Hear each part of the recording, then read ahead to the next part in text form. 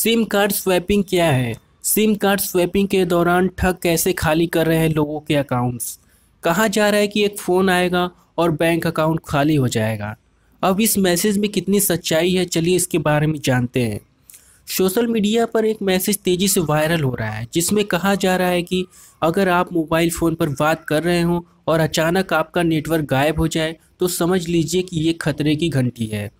आगे बढ़ने से पहले आपको ये बता देते हैं कि सिम कार्ड स्वैपिंग है क्या? इसका मतलब क्या है? सिम कार्ड स्वैपिंग का मतलब है कि किसी मोबाइल नंबर को बंद करके उसी नंबर से दूसरा सिम कार्ड निकालना। जब आप अपने पुराने नंबर पर नया सिम कार्ड लेते हैं तो इस प्रोसेस को सिम कार्ड स्वैपिंग कहते हैं। सोशल मीडिया पर लोगों का कहना है कि मोबाइल में नेटवर्क देने के बहाने आपका बैंक अकाउंट खाली करने का प्लान तैयार किया गया है। एक ऐसा प्लान जिसकी भनक आपको तब लगेगी जब आपका अकाउंट खाली हो चुका होगा। जैसे ही आपके मोबाइल फ़ोन का नेटवर्क गायब होगा, तभी आपको एक फ़ोन कॉल आएगा, जिसमें वो आपसे एक प्रेस करने को कहेगा और ऐसा करते ही आपके बैंक अकाउंट से सारा पैसा निकाल लिया जाएगा।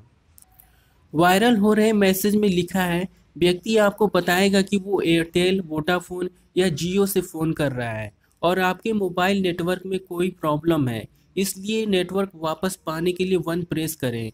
जैसे ही आप अपने मोबाइल पर वन प्रेस करेंगे, फिर से नेटवर्क गायब हो जाएगा। इस प्रोसेस को सीम स्वैप फ्रॉड कहते हैं। आखिर सीम स्वैप फ्रॉड को अंजाम कैसे दिया जा रहा है? इसके बारे में जानते हैं। इथिकल हैकर अनुज अग्रवाल ने बताया फ़ोन हैक करने के कई तरीके हैं। आपके फ़ोन में ही वायरस डाला जा सकता है मेल जीप के ज़रिए, जो व्हाट्सएप के थ्रू भी आ सकता है। वायरस एक सॉफ्टवेयर फ़ोन में डाउनलोड करता है। इसके बाद फ़ोन की सारी एक्टिविटी साइबर क्रिमिनल देखता रहता है। अनुज अग्रवाल ने बताया कि अगर आपने सर्विस प्रोवाइडर से कहा कि आप 4G सिम लेना चाहते हैं तो ये बात साइबर क्रिमिनल को भी पता चल जाती है और साइबर क्रिमिनल कंपनी को फर्जी आईडी दिखाकर सिम ले लेता है। इसके बाद बैंक के सारे ओटीपी क्रिमिनल के पास पहुँचते हैं। और आपका सिम काम करना बंद कर देता है। ये तो मोबाइल फ़ोन से जुड़ी हुई जानकारी थी, लेकिन हैकर को बैंक अकाउंट से जुड़ी जानकारी कैसे मिल जाती है, इसके बारे में जानते हैं। बैंकिंग एक्सपर्ट दिनेश दबे ने बताया फ़ोन से आपका बैंक अकाउंट लिंक नहीं है। अगर आपका बैंक अकाउंट आधार कार्ड से लिंक है और कोई आपको फ़ोन करता है तो वो आपका आधार कार्ड खोजता है। आधार कार्ड खोजने के बाद आधार कार्ड की सारी जानकारी को इकट्ठा करता है। उसमें से बैंक अकाउंट निकाल कर पैसा निकालना शुरू कर देता है। ये एक आदमी का काम नहीं है, बल्कि इसके पीछे हैकर्स का पूरा ग्रुप है।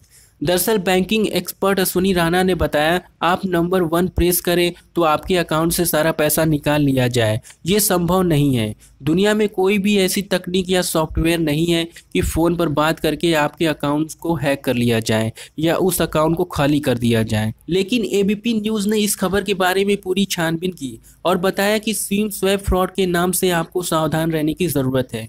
मैसेज के ज़रिए नेटवर्क देने के बहाने लूटने वाली कॉल की जो थ्योरी वायरल मैसेज के ज़रिए फैल रही है, वो गलत है। तो फ्रेंड्स अगर आपके पास भी कोई ऐसी कॉल आए तो आप इस बात का ज़रूर ध्यान रखें कि कोई भी पर्सनल डेटा के बारे में इंफॉर्मेशन नहीं देनी है।